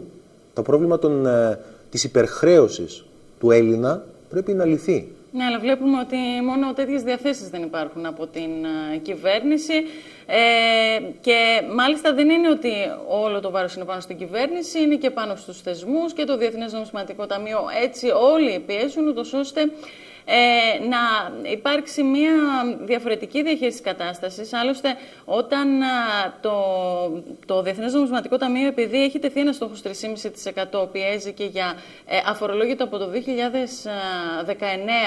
δηλαδή ένα χρόνο νωρίτερα, ακόμα και αυτό το γεγονός από μόνο του νομίζω ότι δυσκολεύει ακόμα περισσότερο την κατάσταση, συν τις ε, πολιτικές που έχει ακολουθήσει η κυβέρνηση από την άλλη πλευρά. Εδώ έχουμε πάει η λογική, στη λογική σοφία πονά κεφάλι, κόβει κεφάλι. Δηλαδή, ε, όταν έχουν υποχωρήσει τόσο πολύ οι μισθοί, η λογική του Δουνουτού είναι να πιάσουμε και την φορολογική βάση αυτή που δεν έχουμε πιάσει ακόμα για να αυξήσουμε τα έσοδα. Όμως τα έσοδα του κράτους δεν αυξάνονται μόνο εάν βάζεις φόρους ή διευρύνει το αφορολόγητο, αυξάνονται και μέσα από, κυρίως μέσα από την ανάπτυξη. Ναι. Γιατί έχουμε πάει στην λογική του downsizing, δηλαδή της συρρήκνωση της οικονομίας, και ότι μέσα από αυτά, στύψε, στύψε, κάτι θα βγει.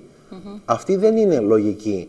Ε, ποτέ δεν έχει λυθεί το πρόβλημα ε, μιας ε, υπερχρεωμένης χώρας με δίδυμα ελλείμματα, με ελλείμματα στο ισοζύγιο τρεχουσών συναλλαγών και με δημοσιονομικά ελλείμματα, δεν έχει λυθεί με συρρήκνωση της οικονομίας. Και εδώ να πούμε, Σοφία, ότι ε, ε, άλλος ένας λόγος που έχουμε χαμηλή ανάπτυξη είναι η μείωση της παραγωγικότητας αυτά τα χρόνια περίπου 10%.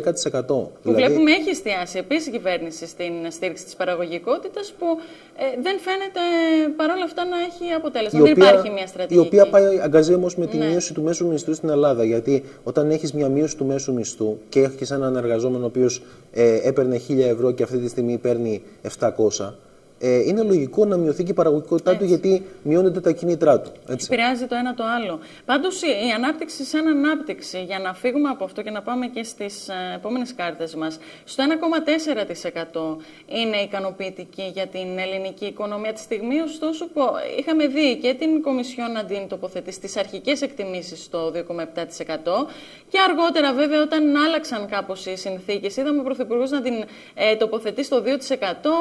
Ε, το ε, ο προπολογισμό στο 1,6%. Όπως και να έχει, όλες οι εκτιμήσεις έπεσαν έξω. Την είδαμε σε πολύ χαμηλότερα επίπεδα. Και Σοφία, το, είχαμε, το είχα υπογραμμίσει μάλιστα σε ένα άρθρο μου ότι ε, η ανάπτυξη δεν θα είναι η πραγματική ανάπτυξη στο 2%. Και φέτος, για να σου δώσω και μια είδηση, η ανάπτυξη δεν θα είναι στο 2,5%.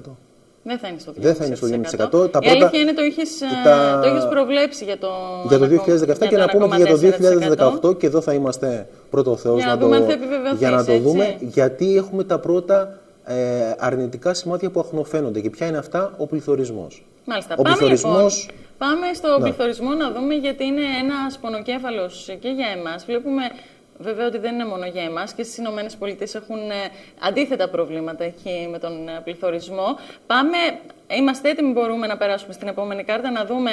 Ωραία.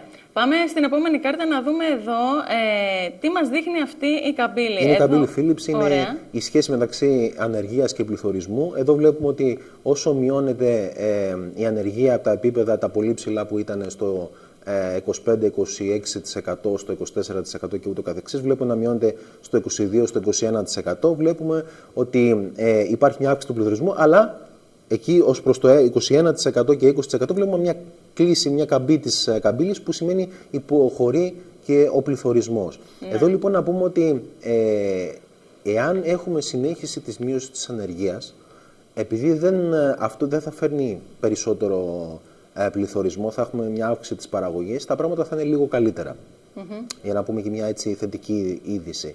Αυτό γιατί συμβαίνει; Συνήθως η αρνητική σχέση μεταξύ ανεργία και πληθωρισμού ε, φαίνεται στο γεγονός ότι όταν μειώνει η ανεργία και κάποιος προσλαμβάνει ε, ένα άτομο στην επιχείρησή του, όταν είναι πολύ χαμηλές οι πωλήσεις του, θα, θα, θα θέλει μια αύξηση των τιμών σαν τυράκι για να προσλάβει έναν εργαζόμενο. Όσο όμως αυξάνονται οι πωλήσεις του, και υποχωρεί περισσότερο η ενέργεια και πάει στο 22, στο 21, στο 20 και πρώτο Θεός να πέσει και κάτω από 20%. Εκεί λοιπόν αυξάνονται οι πωλήσεις του, οπότε πουλάει περισσότερη ποσότητα και δεν έχει τόσο πολύ ανάγκη την αύξηση των τιμών. Έτσι. Έτσι. Ε, αυτό δείχνει ουσιαστικά αυτή η καμπύλη που είδαμε ε, λίγο πιο πριν. Εδώ να πούμε λοιπόν ε, όσον αφορά τον πληθωρισμό ότι έχουμε λοιπόν μια μείωση του πληθωρισμού τα πρώτα, ε, τους δύο πρώτους μήνες του έτους, τον Γενάρη ε, και το Φλεβάρι του 2018, μια υποχώρηση του πληθωρισμού, δεν είναι ανησυχητική παρά μόνο εάν συνεχιστεί. Αν δούμε δηλαδή ότι υπάρχει μια επιβράδυνση του πληθωρισμού και πέσουμε πάλι σε αποπληθωρισμό, πέσουμε πάλι δηλαδή σε, αρνητική, σε αρνητικό πληθωρισμό, δηλαδή σε πτώση των τιμών, εκεί λοιπόν ε, έχουμε μια ε, αύξηση του κινδύνου ε, όχι μόνο να μην έχουμε, να μην πιάσουμε αυτούς τους ρυθμούς ανάπτυξης στο 2,5% αλλά να έχουμε και μια ε, πολύ χαμηλή ανάπτυξη της τάξης του μισό ή του 1%. Ε, εδώ λοιπόν να πούμε ότι η ελληνική οικονομία έτσι όπως είναι σήμερα δομημένη χρειάζεται πολύ πληθωρισμό για να έχει ανάπτυξη. Αυτό γιατί, γιατί πολύ απλά δεν είναι μια εξαγωγική οικονομία, γιατί πολύ απλά δεν είναι μια οικονομία η οποία ε, έχει απελευθερώσει τις δυνάμεις της, της παραγωγικές. Είναι πολύ συστροφής και είναι και ε, μια οικονομία που έχει ε, σε ορισμένους κλάδους ε, έτσι, μια διευρυμένη παραγωγική ικανότητα. Ε, και βεβαίως υπάρχει μια, είναι και μια οικονομία η οποία έχει ένα πολύ μεγάλο κομμάτι ε, που στηρίζεται στο δημόσιο τομέα, έτσι, να το πούμε αυτό, ε, για να έχεις ψηλούς ρυθμούς ανάπτυξης. Υπάρχει μάλιστα και μια σχετική καμπύλη που θα τη δούμε σε επόμενη, σε επόμενη σημείωσή μας. Υπάρχει λοιπόν μια καμπύλη, καμπύλη ράχνη, η οποία τι δείχνει; Ότι η ρυθμή ανάπτυξης είναι 5, με 6% εάν ε, στην ελληνική οικονομία ε, ο δημόσιος τομέας ήταν γύρω στο 7,5 με 8% από ό,τι είναι σήμερα πιο χαμηλός. Πιο χαμηλά. Ω ποσοστό του ΑΕΠ σαν δαπάνες. Αυτό θα γινόταν, θα μπορούσε να γίνει μόνο ε, δεν, καταρχάς δεν λέμε να μειωθούν οι δαπάνες, λέμε να αυξηθεί το ΑΕΠ, αλλά να παραμείνουν σταθερές οι δημόσιες δαπάνες. Έτσι. Εάν έχουμε λοιπόν μέσα στα επόμενα χρόνια μέχρι το 2030 μια αύξηση του ΑΕΠ γύρω στο 7,5 με 8%, θα πρέπει να μείνουν σταθερές οι δημόσιες δαπάνες και τα όποια ωφέλη να έρθουν από την μείωση των φόρων. Έτσι, πολύ σημαντικό αυτό που λες, γιατί έχουμε εστιάσει τη μείωση των δαπανών, η οποία δεν μπορεί πλέον να προέλθει από πουθενά. Ωστόσο, αυτό ε, φαντάζει εν μια, ένα καλό σενάριο, δηλαδή να δούμε υψηλή ανάπτυξη στην οικονομία με τις δαπάνες να παραμένουν σταθερές, σταθερές να μην δούμε πάλι να ξεφεύγουν. Να μην δούμε μείωση και να δούμε μια μείωση των φόρων κυρίως σε ορισμένους τομείς, όπως είχαμε υπογραμμίσει και την ε, περασμένη φορά, ε, είχαμε πει για την ε, φορολογία των επιχειρήσεων και είχαμε πει για την φορολογία στην κατανάλωση. Έτσι. Λοιπόν, και κλείνοντας, έχει ενδιαφέρον νομίζω να μείνουμε στο, σε έναν από τα μεγάλα προβλήματα της οικονομίας μας. Αναφερθήκαμε και πριν στην ανεργία, η οποία ναι μεν υποχωρεί. Παρ' όλα αυτά βλέπουμε ότι τα ποιοτικά της ε, στοιχεία δεν είναι τόσο ενθαρρυντικά και το μεγάλο ερώτημα είναι γιατί δεν βλέπουμε μια μεγαλύτερη πτώση της ανεργίας; Εδώ λοιπόν έχουμε, ε, η ανεργία λοιπόν μπορεί να μειωθεί με δύο παράγοντες. Εδώ βλέπουμε την καμπύλη Beveridge ε, στα μνημονιακά χρόνια. Εδώ λοιπόν βλέπουμε πώς συσχετίζονται οι κενές θέσεις εργασίας και η ανεργία. Η ανεργία λοιπόν θα πέσει είτε αν έχουμε μια αύξηση της ζήτησης εργαζομένων από τις επιχειρήσεις, είτε μια αύξηση της προσφοράς ε, ορών εργασίας από τους εργαζομένους. Η προσφορά οργών εργασίας από τους εργαζομένους έχει ταβανιάσει. Αυτό είναι κάτι δεδομένο. Ε, οι, πλέον οι εργαζόμενοι ε, δεν είναι διατεθειμένοι να προσφέρουν περισσότερη εργασία, όσο μάλλον για αυτούς τους μισθούς. Το ένα είναι αυτό. Το δεύτερο που βλέπουμε, Σοφία, αν βλέπεις, δεις αυτή την καμπύλη λοιπόν που η ανεργία αυτή τη στιγμή πόσο είναι, γύρω στο 21% βλέπεις με το κόκκινο βελάκι, είναι η ανεργία μας στο 21%. Εκεί λοιπόν τι έχουμε; Εκεί λοιπόν αν δεις, οι κοινέ θέσεις εργασίας αυτή τη στιγμή στην οικονομία είναι κάτω από 1%. Τι σημαίνει αυτό, ότι οι επιχειρήσεις δεν δημιουργούν θέσεις εργασίας. Γιατί δεν δημιουργούν θέσεις εργασίας οι επιχειρήσεις, Πρώτον, γιατί υπάρχει πολύ ψηλή φορολογία. Δεύτερον, διότι δεν έχει ανακάμψει η κατανάλωση και η καταναλωτική ζήτηση, mm-hmm. η εγχώρια. Τρίτον, γιατί πολλές από αυτές τις επιχειρήσεις δεν είναι εξαγωγικές, οπότε βασίζονται στην εγχώρια κατανάλωση. Έτσι. Άρα λοιπόν είναι μια άλλη εισίδα και θα δούμε την ε, ανεργία να πέφτει, όταν θα δούμε την ανεργία να πέφτει κάτω από το 20% ε, αυτό το πρόβλημα θα παραμένει. Μόνο όταν θα πλησιάζει το 15% όπως βλέπουμε και κάνει αυτή την κλίση, την άνοδο η καμπύλη, τότε θα αρχίσουν να δημιουργούν θέσεις εργασίας επιχειρήσεις. Προς το παρόν δηλαδή είμαστε σε μια παγιδευμένη δηλαδή, σε μια ε, φυλακή στην οικονομία μας όσον αφορά την ανεργία, όπου χρειάζεται πολύ μεγαλύτερη υποχώρηση της ανεργίας ώστε να, οι επιχειρήσεις να ανακάμψουν και να μπορούν να κάνουν προσλήψεις. Δηλαδή να έχουμε μια αύξηση της κατανάλωσης που να τους επιτρέψει να κάνουν Έτσι, το, προσλήψεις. Το, το ένα θα βοηθήσει το άλλο στη συνέχεια. Νομίζω τα, τα είδαμε όλα πολύ αναλυτικά. Τι περιμένουμε τώρα τις επόμενες ημέρες; Είχαμε τώρα τα στοιχεία του πρωτογενού σου πλεονάσματος. Έχουμε και άλλα μακροοικονομικά. Θα ε, βγαίνουν συνεχώς στοιχεία για το 2017 τώρα. Ε, ναι. θα βγει το ποσοστό φτώχειας ε, για το 2017, όπου και εκεί πέρα υπάρχει μια πρόβλεψη ότι θα είναι κάτω από το 35%. Ε, θα έχει δηλαδή μια υποχώρηση γύρω στο 1 με 1,5%. Αυτό είναι που προβλέπουμε. Αλλά θα βγουν και άλλα μακροοικονομικά στοιχεία, Σοφία, τα οποία θα αναφέρονται στο προηγούμενο έτος στο 2017. Έτσι, είμαστε εδώ να τα παρακολουθούμε και να τα αναλύουμε με τη βοήθειά σου, Κωνσταντίνε. Να σε ευχαριστήσω πάρα πολύ που ήσουν μαζί μας για ακόμα μια φορά. Καλή συνέχεια. Καλή συνέχεια. Λοιπόν, Κωνσταντίνος Βουδούρης, χρηματοοικονομικός αναλυτής. Είδαμε όλα τα θέματα της οικονομίας. Σε αυτό το σημείο, επειδή περάσαμε ε, αρκετά το χρόνο, θα περάσουμε σε διαφημίσεις και επανερχόμαστε με το τελευταίο μέρος της σημερινής μας εκπομπής.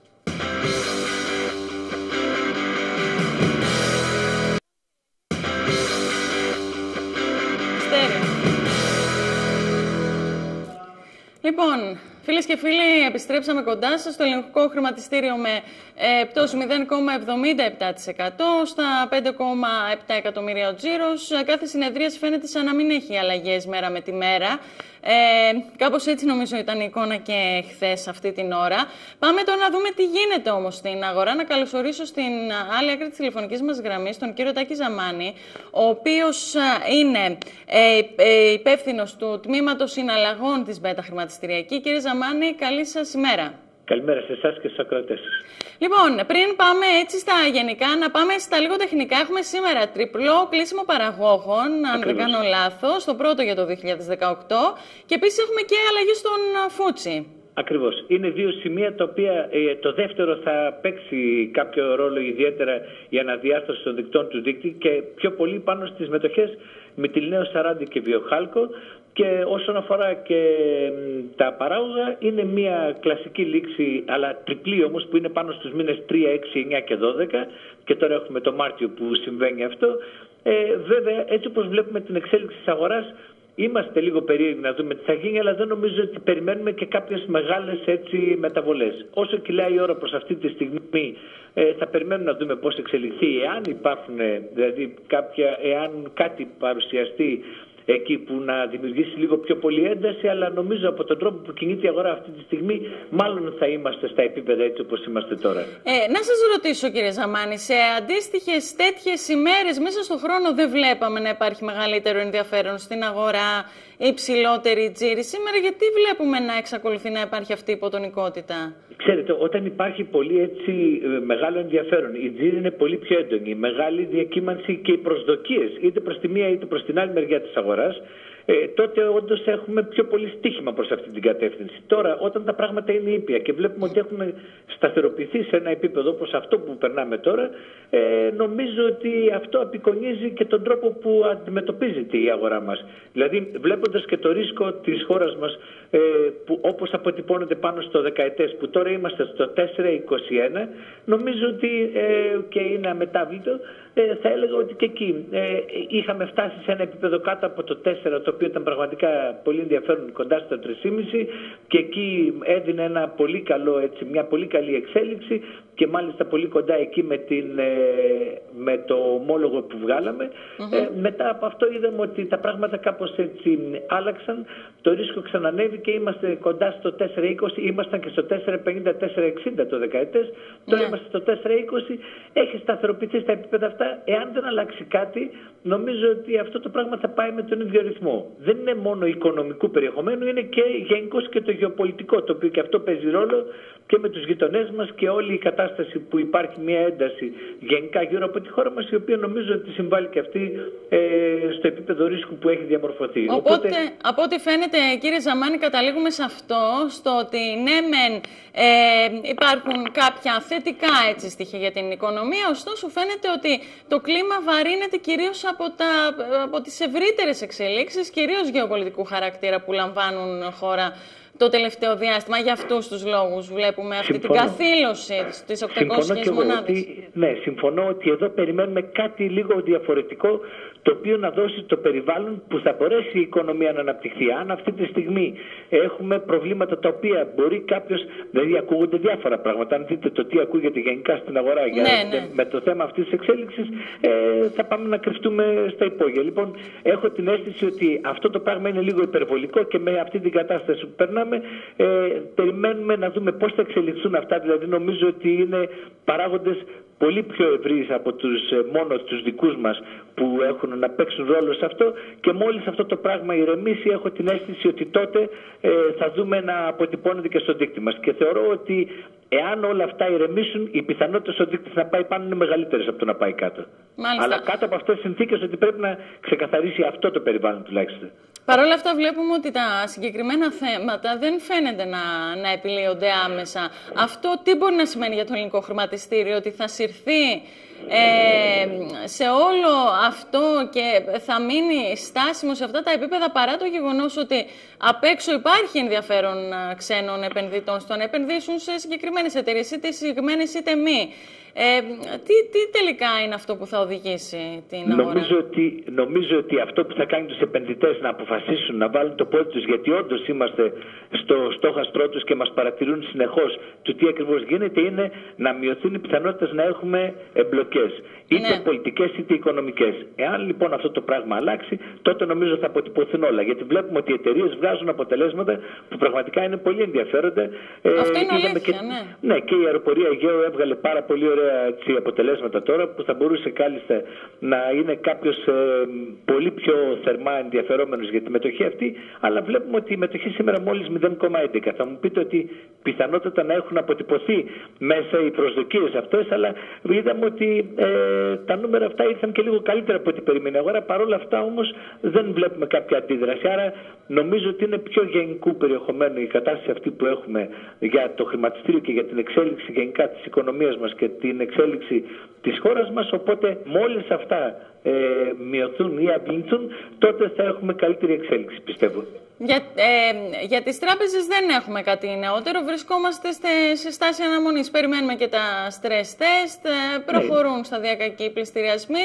Και εκεί δεν έχουμε κάτι καινούριο. Αν και αυξάνονται έτσι εκτιμήσεις ότι ενδέχεται τελικά να χρειαστούν νέες ανακεφαλαιοποίησεις. Να σας πω κάτι. Ίσως όχι με τη διαδικασία αυτή τη φοβιστική, δηλαδή αν οι συνθήκες αλλάξουν που τότε πραγματικά μπορεί κάποιος να ενδιαφέρεται και να δούμε οι τιμές αυξήσεις να γίνουν πάνω από τις τιμές της τρέχουσε, είναι άλλο σκηνικό τελείως από αυτό που έχουμε συνηθίσει και έχει πληγεί πολύ ο επενδυτικός κόσμος ε, με τις αυξήσεις που έχει λάβει μέρος πριν στις τράπεζες. Θεωρώ λοιπόν ότι έτσι όπως είναι τα πράγματα τώρα, βλέποντας τουλάχιστον για αυτά που είναι γνωστά σε εμάς, δηλαδή με τον τρόπο που διαχειριζόμαστε το θέμα του, των αποτελεσμάτων από την εφαρμογή των διεθνών λογιστικών προτύπων και με τον τρόπο που αυτά θα τα διανύμουμε στα επόμενα έξι χρόνια, οι επιβαρύνσεις δεν είναι τέτοιες που θα, θα πλήξουν ε, το τραπεζικό σύστημα. Αυτό βέβαια που παίζει πολύ πιο μεγάλο ρόλο είναι τα stress test και το τι ακριβώς θα βγει από εκεί ε, και ιδιαίτερα πάνω με τις αξίες των ακινήτων. Θεωρώ αυτό είναι ένα πολύ σημαντικό μέρος. Αλλά και εκεί νομίζω ότι οι παραδοχές που έχουν ε, ληφθεί είναι τέτοιες που ναι, θα περιμένουμε να δούμε το αποτέλεσμα, αλλά δεν νομίζω ότι θα είναι τόσο απογοητευτικό. Δηλαδή θεωρώ ότι η αγορά ήδη το έχει λάβει υπόψη της αυτό το πράγμα. Αλλά νομίζω ότι παίζει μεγάλο ρόλο να δούμε πώς θα εξελιχθούν ε, τα πράγματα και σε αυτόν τον τομέα. Και πιο πολύ απ' όλα βέβαια είναι το πολιτικό και το γεωπολιτικό μας. Αυτά νομίζω είναι πιο σημαντικά προς το παρόν για να μπορέσουμε να δούμε τι θα γίνει στη συνέχεια. Μάλιστα λοιπόν κρατάμε αυτά και σας ευχαριστούμε πολύ κύριε Ζαμάνη που ήσασταν μαζί. Σας ευχαριστούμε κύριε. για το σχόλιο σας. Καλή συνέχεια. Να είστε καλά. Γεια σας. Λοιπόν αυτά σε ό,τι αφορά και την ελληνική χρηματιστηριακή αγορά. Πάμε σε αυτό το σημείο να δούμε τι γίνεται όμως στις μετοχές μας σήμερα. Να ξεκινήσουμε με τους κερδισμένους και τους χαμένους της σημερινής συνεδρίασης και στη συνέχεια να ρίξουμε και μια αναλυτικότερη ματιά στις μετοχές της υψηλής κεφαλαιοποίησης, να δούμε τι γίνεται και εκεί. Από ό,τι βλέπω εγώ στο σύστημα αυτή την ώρα είναι ε, 3 και 3 6 μετοχέ οι οποίες ε, καταγράφουν άνοδο από τις 25 συνολικά. Όλες οι υπόλοιπες, με εξαίρεση την μετοχή της ΜΕΤΚΑ, βλέπουμε να υποχωρούν. Πάμε να το δούμε όμως και στις κάρτες μας αναλυτικά. Με μια ματιά, 44 μετοχές ε, υποχωρούν. 19 ε, ενισχύονται και 15 είναι αμετάβλητες αυτή την ώρα, ενώ σε ό,τι αφορά τις ε, μετοχές της υψηλής κεφαλαιοποίησης, η Eurobank με τη μεγαλύτερη άνοδο αυτή την ώρα στο συν 0,8%. Εθνική Τράπεζα με κέρδη 0,75%. Η Aegean, η οποία ανακοίνωσε και καλά αποτελέσματα, ενισχύεται κατά 0,43% η τιμή της στα 9 ευρώ και 33 λεπτά όπως βλέπουμε. Και Τέρνα Ενεργειακή και Γεκτέρνα στα ίδια επίπεδα εδώ. Η άνοδος 0,19%. Ο ΟΛΠ βλέπουμε να ενισχύεται κατά 0,12% και από εκεί και πέρα ξεκινούν οι ρευστοποιήσει. Μητυλινέο στο μείον 0,2%. Στα ίδια επίπεδα η πτώση και για τη Τζάμπο. Τα ελληνικά πετρέλαια με πτώση 0,38%. Coca-Cola στο μείον 0,52%. Στην συνέχεια η Α υποχωρεί κατά 0,54%. Επίσης η Βιοχάλκο βλέπουμε να καταγράφει απώλειες 0,55%. Η Γρυβάλια στο μείον 0,55% επίσης, ΔΕΗ με απόλυση 0,57%, ΕΧΑΕ στο μείον 0,62%, ε, ΕΙΔΑΠ με πτώση 0,67%, η μετόχη του Ελάκτορα υποχωρεί κατά 0,82%, Πειραιός στο μείον 0,88%, Τιτάν με πτώση 1,18%, Λάμδα Development με απώλειες 1,35%, η μετοχή της Φολή Φολή βλέπουμε αυτή την ώρα να καταγράφει μια πτώση 1,5%.